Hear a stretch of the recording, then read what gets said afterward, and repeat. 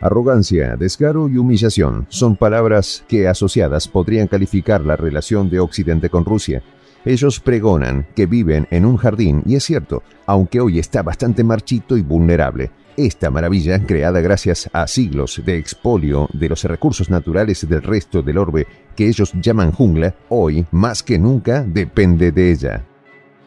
En Occidente dicen odiar a Rusia, mientras la acosan, la difaman, le aplican 10 paquetes de sanciones y le imponen una guerra por delegación en Ucrania. Al mismo tiempo, y por debajo de cuerda, cogen un carrito de mercado y se van de shopping a los centros comerciales de Moscú para comprar petróleo, gas, uranio, titanio, fertilizantes, entre otros bienes básicos. Los detalles a continuación.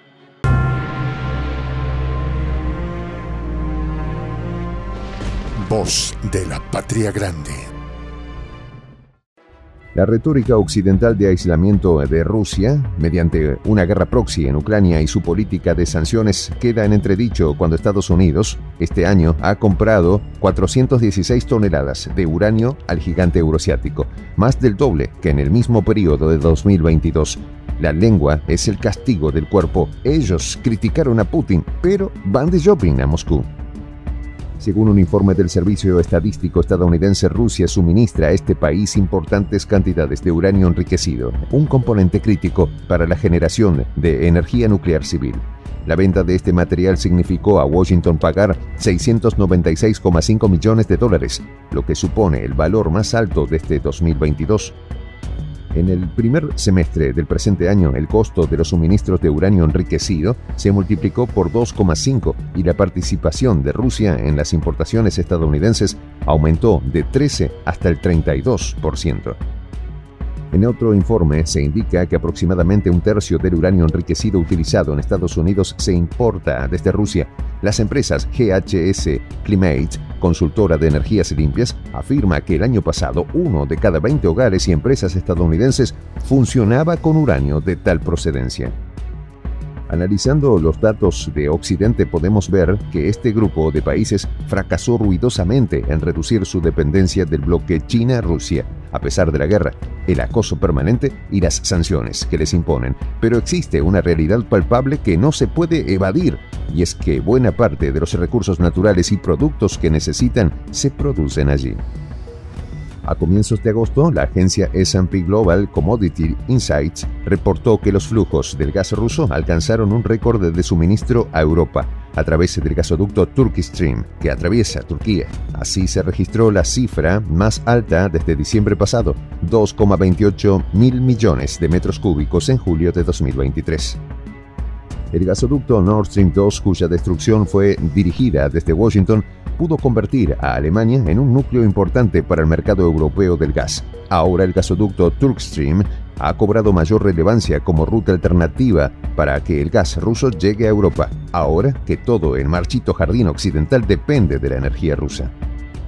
En extremo oriental del jardín, hasta el dócil Japón se negó a dejar su participación en el proyecto ruso Sakhalin 2, uno de los yacimientos de gas y petróleos más grandes del mundo, cuando Rusia tomó el control para enfrentar las sanciones. Allí la británica Shell perdió su participación del 27,5%, mientras que las japonesas Mitsui y Mitsubishi conservaron su 22,5%. Las políticas de hostigamiento de Estados Unidos contra Rusia y China han puesto al descubierto varios casos donde se evidencia la humillante dependencia y corrupción de Occidente, así como su gran hipocresía. El primero está vinculado a la primera ministra de Estonia, Kaya Kalas, cuyo marido hacía negocios en Rusia. El hecho es que Kalas abogó activamente por romper todos los vínculos con Rusia. Sin embargo, resultó que estas persuasiones no concernían a su marido. Kaya Kalas dijo que no sabía nada sobre las actividades de su marido y que siempre había separado la vida laboral y familiar. Estas palabras provocaron un escándalo adicional porque se supo que ella acompañó dos veces a su marido a los eventos de su empresa Metaprint. Además, invirtió 370 mil euros en dicho negocio, monto muy encima de sus ingresos. El caso es realmente patético porque Kaya Kalas no solo exigió el cumplimiento de las sanciones antirrusas existentes, sino que pidió constantemente la introducción de otras nuevas. Además, a menudo argumentó que cualquier interacción con Rusia era inmoral, Para colmo, por su postura intransigente, Calas fue llamada en Europa la princesa de la guerra. Este escándalo fue un claro ejemplo de la inmoralidad de las élites políticas europeas, avasalladas por Estados Unidos, que buscan diversas maneras de sacar provecho político vendiendo su rusofobia a Occidente y al mismo tiempo llenan sus bolsillos gracias a sus negocios con Rusia pero la inmoralidad de los burócratas europeos no es peor que la de los estadounidenses. Nancy Pelosi, durante su gestión como presidenta de la Cámara de Representantes, hizo un viaje a Taiwán en rechazo al gobierno chino. Su agresiva retórica se fue al piso debido a los negocios de su esposo Paul Pelosi, como segundo accionista de la empresa china Borgs Technologies.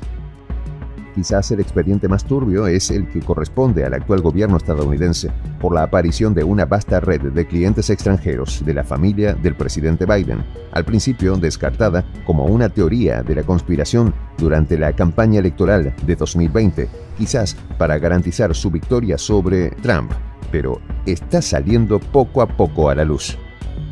Kevin McCarthy, líder republicano en el Congreso, condenó la cultura de la corrupción que salpica a la familia Biden. McCarthy arremetió contra el presidente por la larga lista de revelaciones sobre sus vínculos con los negocios de su hijo Hunter en el extranjero, incluido el tráfico de influencias, y le dijo lo siguiente, el público estadounidense merece una respuesta. ¿Quién miente? ¿Qué información se oculta? ¿Quién pagó y a qué gobiernos extranjeros?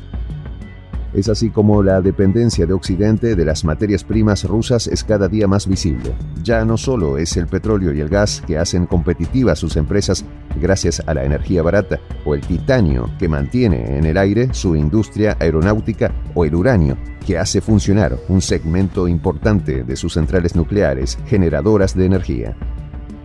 Las importaciones alemanas de fertilizantes nitrogenados procedentes de Rusia se multiplicaron más de cuatro veces este año respecto a 2022.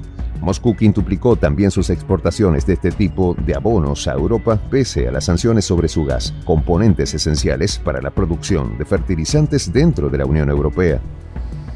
La importación de urea rusa, el fertilizante más consumido en la agricultura por su contenido de nitrógeno, creció en 304% este año. Al mismo tiempo, los importadores alemanes pagaron solo unos 360 euros por tonelada frente a los 536 euros de la campaña anterior. Las nuevas estadísticas para Alemania se hacen eco de una tendencia común en toda Europa que revela que Rusia quintuplicó sus exportaciones de fertilizantes nitrogenados a la Unión Europea para la temporada 2022-2023, lo que eleva su cuota al 19%.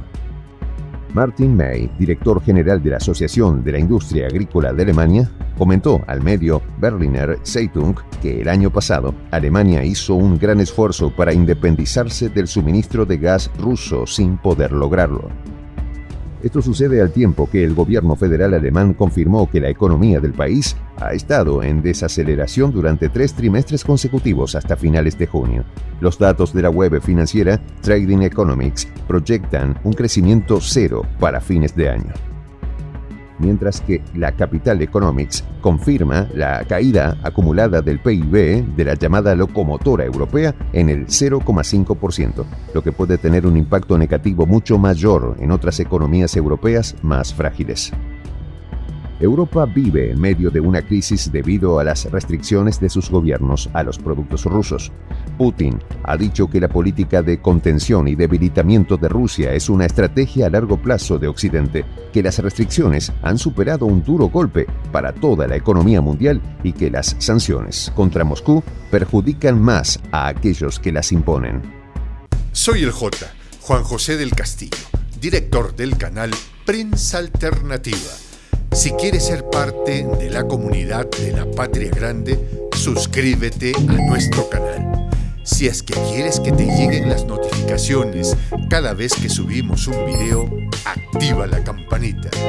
Si quieres apoyar a nuestro canal económicamente, puedes hacerlo a través de PayPal. El enlace está en la descripción del video. A nombre del equipo de prensa alternativa, me despido con esta expresión en el quechua milenario, Tupananchis Kama, cuya traducción es hasta volvernos a encontrar.